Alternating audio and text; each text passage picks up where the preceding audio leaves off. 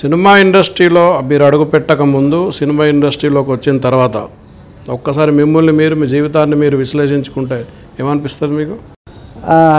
మనకి ఎలాగైనా ఒక విచిత్రంగా అనిపిస్తుందండి. సినిమా అనేదండి మనిషికి లక్ అండి ఇది. డబ్బుతో పని కాదు ఇది. అందంతో పని కాదు. ఒక్కొక్కసారి టాలెంట్తో కూడా పని కాదు. ఎందుకంటే మహాన్ నటుడు సీనియర్ నటులు ఈ- సందర్భంగా ఆయన గుర్తు చేసుకున్న కోట శ్రీనివాసరావు గారికి నమస్కారం అండి. ఆయన ఒక సందర్భంలో అందరికీ తెలుసు కానీ ఆయన నోటితో అన్నదే హైలైట్ అయింది. ఒక కళాకారుడికి గుమ్మడికాయ అంత టాలెంట్ ఉన్నా గుమ్మడికాయ అంత టాలెంట్ ఉన్నా ఆవగించంత అదృష్టం ఉండాలన్నాడు ఆయన. అలాగా ఇప్పుడు రూపం ఉన్నా ఒక్కోసారి డైలాగ్ చెప్పలేరు. డైలాగ్ చెప్పే స్తోమతున్నా అక్కడ సి అక్కడ ఆ స సన్నివేశానికి ఉపయోగపడకపోవచ్చు. ఇలా కొన్ని ఉంటాయి. ఆ, అలాగే మొన్న నేను మూవీస్లోనే కాకుండా సీరియల్ ఎక్కువ చేస్తుంటాను. సీరియల్లో కూడా చేస్తాను. సినిమా ఇండస్ట్రీకి వచ్చిన తర్వాత ఎందుకు వచ్చానరా దేవుడు అని ఎప్పుడు అనుకున్నారా?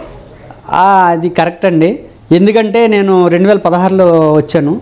ఒక టూ ఇయర్స్ వరకు మనం ఎవరో తెలియదు తెలియని టైంలో నేను హైదరాబాద్ రావడానికి ఒక మహానుభావుడు కారణం అండి ఆయన కొండూరి రామ్మోహన్ రావు గారు మా అసోసియేషన్లో ఆయన లైఫ్ మెంబర్ ఆయన. ఆయన కూడా ఒక ఆర్టిస్ట్ అండి. చాలా మూవీస్లో చేశారు పెద్ద ఆయన. ఆయన నేను ఆ తణుకులో ఒక నాటకం వేస్తున్నానండి. ఆ నాటకం నాటకం వేస్తుంటే కానిస్టేబుల్ క్యారెక్టర్ చేస్తుంటే ఆయన నా పర్ఫార్మెన్స్ చూశారు. చూసి డైలాగ్స్ బాగా చెప్తున్నారండి. బాగున్నారు. మీరు మూవీస్లో కూడా ట్రై చేయండి.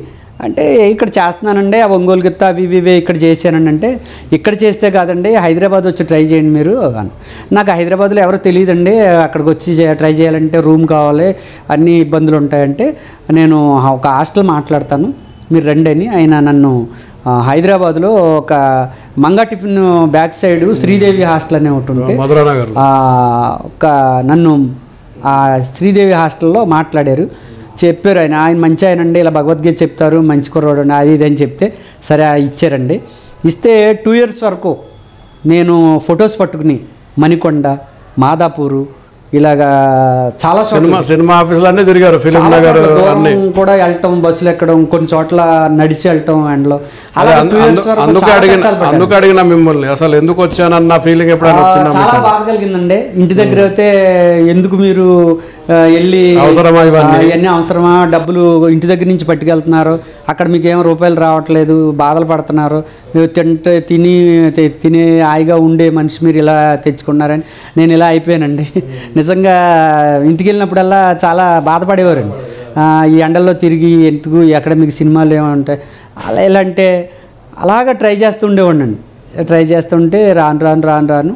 భగవంతుడి దయ వల్ల. నెల నెలకు ఎన్ని రోజుల వరకు షూటింగ్ చేయగలుగుతున్నారు ఇప్పుడు మీరు? ఇప్పుడు నెలలో ఒక టెన్ డేస్ అలా వస్తున్నాయండి. సీరియల్లో అవి మధ్యలో ఖాళీగా ఉన్నప్పుడు సీరియల్కి వెళ్తుంటాను. ఇలాగా కార్తీక దీపంలో మారుబడి మౌన్ రాగంలో డాక్టరు లాయరు చాలా చాలా క్యారెక్టర్లు చేస్తానండి సీరియల్ సాధా- సాధారణంగా సినిమాల్లో పెద్ద ఆర్టిస్టులకేమో కొంత రెమ్యునరేషన్ ఎక్కువ ఉన్నా వాళ్ళకి ప్రాంప్ట్గా వెళ్ళిపోతుంది. మీ రెమ్యునరేషన్ ఎంత ఇస్తారని అడగను కానీ ఒరిజినల్గా మీ రావాల్సిన రెమ్యునరేషన్ మీకు చేతికి వస్తున్నాయా? అంటే అండి కొన్ని చోట్ల బ్యానర్లు ఇచ్చేవారు. కొందరు అయితే టూ మంత్స్కి బ్యాంక్లో బ్యాంకులో వేస్తామనేవారు. కొందరు అయితే చెక్ ఇచ్చేవారు. ఇలా పాపం వాళ్ళు ఇబ్బందులు బట్టి మనకి ఎగ్గొట్టడం అనేది జరగలేదు కానండి అందరూ పేమెంట్లు బాగానే ఇచ్చేవారు. హైదరాబాద్కి వచ్చిన తర్వాత సరే హైదరాబాద్కి వచ్చినందుకు బాగానే ఉన్నా అనే ఫీలింగ్ ఉందా ఇప్పుడు మీకు?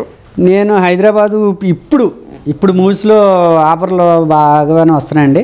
దాంతో భగవంతుడి దయ పర్లేదు అని అనిపిస్తుంది. అంటే లక్షలు సంపాదించేసే అంత కాదండి. మనకే ఉండటానికి తినటానికి లోటు లేకుండా నడుస్తుందండి. అంతేగాని ఇప్పుడు మనం ఏదో వెనకేసుకోవడానికి అయితే ఏం లేదు. అందరికీ మీకు తెలిసి తెలిసిందే కాదు.